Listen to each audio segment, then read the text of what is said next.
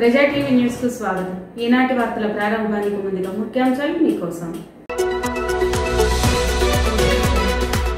మహానంది దేవస్థానంలో ఉద్యోగ సంఘం నూతన కార్యవర్గ ఏకగ్రీవం ఎన్నిక. నూతన అధ్యక్షులుగా వేద పండితులు రవిశంకర్ దాన్ని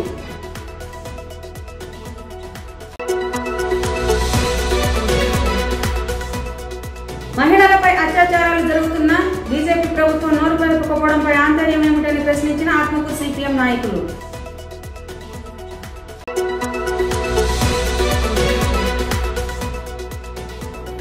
ఇప్పిస్తామని మోసం చేసే వారితో జాగ్రత్తగా ఉండాలని సూచించిన జిల్లా ఎస్పీ రఘువీర్ రెడ్డి.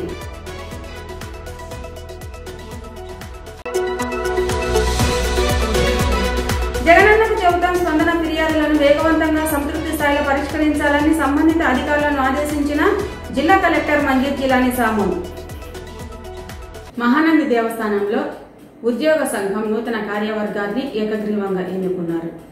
గౌరవ అధ్యక్షులుగా ఉప ప్రధానార్చకులు వనిపెంట జనార్దన శర్మ అధ్యక్షులుగా వేద పండితులు రవిశంకరావధాని ఉపాధ్యక్షులుగా సూపరింటెండెంట్ ఓ వెంకటేశ్వర్లు కార్యదర్శిగా సీనియర్ అసిస్టెంట్ మల్లికార్జున జాయింట్ సెక్రటరీగా ముఖ్య అర్చకులు రాజమాణిక్య శర్మ ట్రెజరర్గా జూనియర్ అసిస్టెంట్ నాగభూషణం కార్యవర్గ సభ్యులుగా స్వామిరెడ్డి రిటైర్డ్ ఉద్యోగి Nagaraju Bhajantri CH Lakshmaiah record assistant M Raghavendra Sharma ముఖ్య అర్చకులు వీరయ్యాచారి అటెండర్లను ఏకగ్రీవంగా ఎన్నుకున్నారు. ఇతర ప్రభుత్వ ఉద్యోగులకు ఇచ్చిన విధంగా దేవాదాయ శాఖ ఉద్యోగులకు కూడా పదవీ విరమణ వయసు అరవై నుండి అరవై సంవత్సరాలకు పెంచిన కారణంగా రాష్ట్ర ప్రభుత్వానికి ధన్యవాదాలు తెలుపుతూ మహానంది దేవస్థానం ప్రధాన కార్యాలయంలో ఆలయ కార్యనిర్వహణాధికారి చంద్రశేఖర్ రెడ్డి చైర్మన్ కొమ్ము మహేశ్వర్ రెడ్డిల ఆధ్వర్యంలో సభ నిర్వహించి ముఖ్యమంత్రికి దేవాదాయ శాఖ మంత్రి వర్యులకు ధన్యవాదాలు తెలిపారు.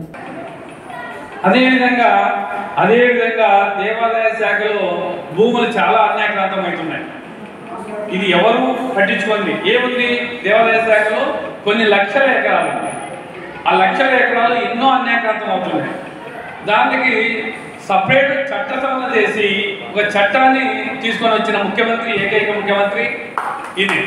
మన దేవాదాయ శాఖలో పెద్ద దేవాలయం నుంచి చిన్న గ్రామీణ ప్రాంతంలో ఉన్నటువంటి దేవాలయాలకు ఇందులో పనిచేయుతున్నటువంటి ఉద్యోగస్తులకు కానీ అర్చకులకు కానీ అందరికీ ఉపయోగకరమైనటువంటి అనేక నిర్ణయాలు ఈ మధ్యన మన ప్రభుత్వం తీసుకోవడం అనేటువంటిది చాలా ముదాబా అందులో ప్రధానంగా చిన్న దేవాలయాల్లో భూముల ద్వారా వచ్చేటువంటి ఆదాయంలోనే ధూపదీప నైవేద్యాలు చేస్తూ బ్రతికేటువంటి చిన్న చిన్న అర్చకులందరికీ కూడా ఆ యొక్క భూములని వారికే స్వయంగా ధారాదత్తం చేస్తూ ఆ ఆలయాన్ని వారే చూసుకొని విధంగా ఇచ్చినటువంటి ఉత్తర్వులు కానీ అనంతరం ఇతర ఉద్యోగస్తులకి వలె ప్రధాన దేవాలయంలో పనిచేస్తున్నటువంటి ఉద్యోగస్తులందరికీ కూడా అరవై రెండు సంవత్సరాలు సర్వీస్ను పొడిగిస్తూ తీసుకున్నటువంటి నిర్ణయంలో కానీ ఇంకా వంశపారంపర్యంగా ఉన్నటువంటి అర్చకులకు వారి వారి దేవాలయంలో శాశ్వతంగా వారు ఆ యొక్క ఉద్యోగంలో ఉండే విధంగా వారికి ఇచ్చినటువంటి అవకాశం కానీ ఇలా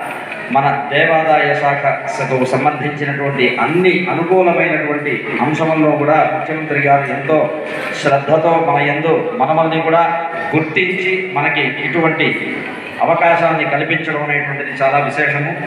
ఈరోజు ఏమైతే మిగతా ఉద్యోగస్తుల పాటి ఈ దేవాలయాల్లో పనిచేసే అర్చకులకైతేనేమి ఆలయ సిబ్బందికి అయితేనేమి కూడా అరవై రెండు సంవత్సరాలు ఎక్స్పీరియన్స్ పెంచుతూ క్యాబినెట్లో నిర్ణయం తీసుకొని జీవగుడుగా జారీ చేయడం జరిగింది. ఏం చేస్తున్నామనేది ముఖ్యం కాదు. మనకి ఎవరు ఆదుకుంటా ఉన్నారు? మన కుటుంబాలను ఎవరు ఆదుకుంటా ఉన్నారు? అని ఒక్కసారి ఆలోచన చేయాల్సిన అవసరం ఉంది. ఎవరైతేనేమి మనకు పెట్టేవాడే గొప్పవాడు. కనుక మనం ఎవరైతే మనం ఆదుకుంటూ మన కుటుంబాలు పోషణ పోషణకు ఇబ్బంది లేకుండా ఎల్లవేళలా మన వెన్నంటి ఉన్నవాడే మనకు గొప్పవాడు కనుక ఈ సీఎం గారికి మనమంతా కృతజ్ఞతలు తెలుపుకుంటూ మహిళలపై అత్యాచారాలు జరుగుతున్న నోరు మెదపకపోవడంపై ఆంతర్యం ఏమిటని ఆత్మకూరు సిపిఎం నాయకులు ప్రశ్నించారు.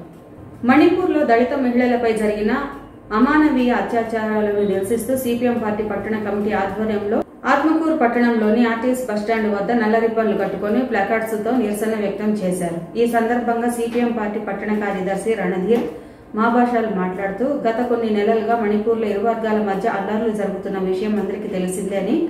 కానీ అల్లర్లు ఇప్పుడు పెరిగి దళితుల మహిళలపై అత్యాచారానికి ఒడిగట్టాయన్నారు. బీజేపీ ప్రభుత్వం దళితులపై మహిళలపై మైనార్టీలపైన దాడులు జరుగుతున్నా స్పందించకపోవడం వెనుక ఆంతర్యం ఏమిటని ప్రశ్నించారు.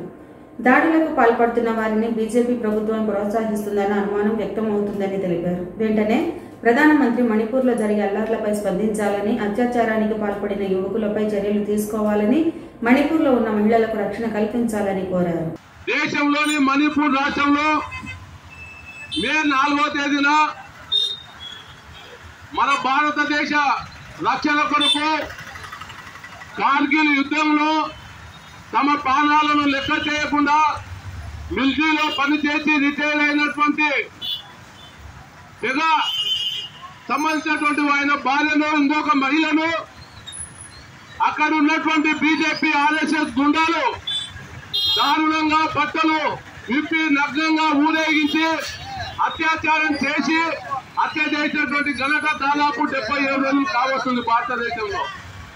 మళ్ళీ ఈ డెబ్బై ఏడు రోజుల కాలంలో మన దేశ ప్రధాని నరేంద్ర మోడీ కానీ బీజేపీకి సంబంధించినటువంటి కేంద్ర మంత్రులు కానీ ప్రజాప్రతినిధులు కానీ నోరు విప్పినటువంటి పరిస్థితి లేదు. ప్రజానికాన్ని మేము ఒక్కసారి ఆలోచించవలసిందిగా సిపిఎం పార్టీగా మేము డిమాండ్ చేస్తా ఉన్నాం. మన జిల్లాలో మన ఆత్మకూరులో జరగదనేది మన కల కలాల్సిన పని లేదు. కాబట్టి ఈ విధానాలకు వ్యతిరేకంగా సిపిఎం పార్టీ నిర్వహించేటువంటి పోరాటంలో మీరందరూ కూడా రాజకీయాలకు అతీతంగా భాగస్వాములై ఈ బీజేపీ ప్రభుత్వాన్ని భూగర్భంలో కలిపేందుకు దానికి ఒత్తాసు పలికేటువంటి తెలుగుదేశం పార్టీ నాయకులను తెలుగుదేశం పార్టీని వైఎస్ఆర్సీపీ వాళ్ళను కూడా మీ మహిళలపై జరుగుతున్నటువంటి దాడులకు మీరు నోరు విప్పుతారా? లేకుంటే ఎన్నికల్లో మీకు తగిన గుణపాఠాలు చెప్పాలనే పద్ధతుల్లో సిపిఎం పార్టీగా హెచ్చరిస్తూ రానున్న కాలంలో జరిగేటువంటి పోరాటాలు పట్టణ ప్రజలందరూ కూడా సహకరించాలని కోరుతూ ఉద్యోగాలు ఇప్పిస్తామని మోసం చేసే వారితో జాగ్రత్తగా ఉండాలని జిల్లా ఎస్పీ రఘువీర్ రెడ్డి సూచించారు. మధ్యకాలంలో గత సంవత్సరం రెండు సంవత్సరాల నుంచి జరిగిన జాబ్ చీటింగ్ కంప్లైంట్స్ అన్నీ ఇప్పుడు స్పందనలో వస్తున్నాయి. వరుసగా మాకు గత ఐదారు నెలల నుంచి అవే రిపోర్ట్లు ఎక్కువ. రైల్వేలో జాబ్ ఇప్పిస్తామని లేకపోతే ఎలక్ట్రికల్ దాంట్లో అని చెప్పి బ్యాంకులో జాబ్ అని రకరకాలుగా జాబ్ ఇప్పిస్తామని లక్ష లక్షలు తీసుకున్నారు. నేను ఇలాంటివి గత ఆరు నెలల నుంచి డేటా తీసుకుంటే. సో అన్నిట్లో కూడా త్వరితగతిన ముద్దాయిలందరినీ అరెస్ట్ చేస్తున్నాము. బాధితులకు కూడా కొంత మేలు జరిగేలాగా చేసి లోకాదంలో కొన్ని పెట్టడం కూడా జరుగుతూ ఉంది. సో ఎవరు కూడా ఎవరిని నమ్మొద్దు. కొన్ని ప్రొసీజర్స్ ఉన్నాయి. ఏ జాబ్ అయినా గవర్నమెంట్ జాబ్ అయినా ప్రైవేట్ జాబ్ అయినా జాబ్ రావాలి అని అంటే కొన్ని ప్రొసీజర్స్ ఉన్నాయి. ఆ ప్రొసీజర్ కాదని ఎవరు కూడా ఉద్యోగం ఇప్పియలేరు రారు రాదు కూడా. సో ఇదందరూ కూడా తెలుసుకోవాలి. ఎవరు నష్టపోకూడదు. సో దయచేసి ఈ మెసేజ్ మీ ద్వారా అందరికీ కూడా కమ్యూనికేట్ చేయండి. ఎవరు కూడా నష్టపోవద్దు. జగనన్న సురక్ష సర్వీస్ రిక్వెస్ట్లను విత్ ఇన్ ఎస్ఎల్ఏలో క్లియర్ చేయాలని జిల్లా కలెక్టర్ మంజీర్ జిల్లాని సమం సంబంధిత అధికారులను ఆదేశించారు. సోమవారం కలెక్టరేట్లోని వైఎస్ఆర్ సెంచనరీ హాల్లో ప్రజా ఫిర్యాదుల స్వీకరణ స్పందన కార్యక్రమంలో కలెక్టర్తో పాటు డిఆర్ఓ పుల్లయ్య తదితర జిల్లా అధికారులు ప్రజల నుండి ఫిర్యాదులను స్వీకరించారు. ఈ సందర్భంగా జిల్లా కలెక్టర్ మాట్లాడుతూ జగనన్న సురక్ష కార్యక్రమం ద్వారా స్వీకరించబడిన సర్వీస్ రిక్వెస్టులను విత్ ఇన్ ఎస్ఎల్ఏలో క్లియర్ చేయాలని సంబంధిత నియోజకవర్గాల అధికారులు మండల సురక్ష బృందాలను ఆదేశించారు. జగనన్నకు చెబుదాం ఆడిట్లో ప్రజల సంతృప్తి స్థాయికి సంబంధించి గుర్తించిన అంశాలను సంబంధిత అధికారుల దృష్టికి తీసుకువెళ్ళి పరిశీలించాలన్నారు. పాండ్యం గడివేముల శ్రీశైలం తదితర మండలాల్లో పెండింగ్లో ఉన్న ఈకేవైసీని పూర్తి చేయాలని కలెక్టర్ ఆదేశించారు. గడప గడపకు మన ప్రభుత్వం ద్వారా మంజూరైన పనులు పూర్తి చేయడంతో పాటు ఇంకా ప్రారంభించని పనులు గ్రౌండింగ్ అయ్యేలా చర్యలు తీసుకోవాలని కలెక్టర్ సంబంధిత అధికారులను ఆదేశించారు. స్పందన కార్యక్రమం ద్వారా స్వీకరించిన అర్జీలను సత్వరమైన నాణ్యతతో అర్జీదారుడు సంతృప్తి చెందేలా నిర్ణీత గడువులోగా సంబంధిత అధికారులు తప్పనిసరిగా పరిష్కరించాలన్నారు. అనంతరం స్వచ్ఛ సర్వేక్షణ్ గ్రామీణ రెండు వేల ఇరవై మూడు వాల్ పోస్టర్లను జిల్లా కలెక్టర్ జిల్లా రెవెన్యూ అధికారి Pullaiah Zilla Parishad deputy CEO Subbareddy DPO Manjulavani తదితర అధికారులు ఆవిష్కరించారు. వార్తలు ముగించే ముందు ముఖ్యాంశాలు మరోసారి.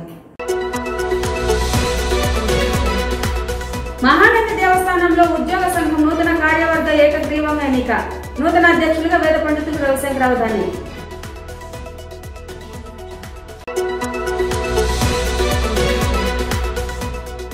మహిళలపై అత్యాచారాలు జరుగుతున్న బీజేపీ ప్రభుత్వం నోరు పెరుపుకోవడంపై ఆంతర్యం ఏమిటని ప్రశ్నించిన ఆత్మకు సిపిఎం నాయకులు.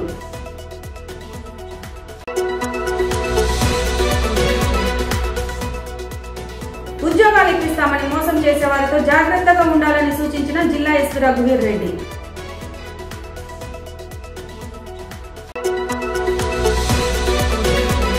జగనన్నకు చెబుతాం స్పందన ఫిర్యాదులను వేగవంతంగా స్థాయిలో పరిష్కరించాలని సంబంధిత అధికారులను ఆదేశించిన జిల్లా కలెక్టర్ మంజీర్ జిలాని సాము. ఈ వార్తలు ఇంతటితో సమాప్తం. మరిన్ని అప్డేట్స్ కోసం చూస్తూనే ఉండండి ప్రజా టీవీ. ప్రశ్నించే హక్కు మీది చూపించే సత్తా మంది. వైసీ చూస్తుంది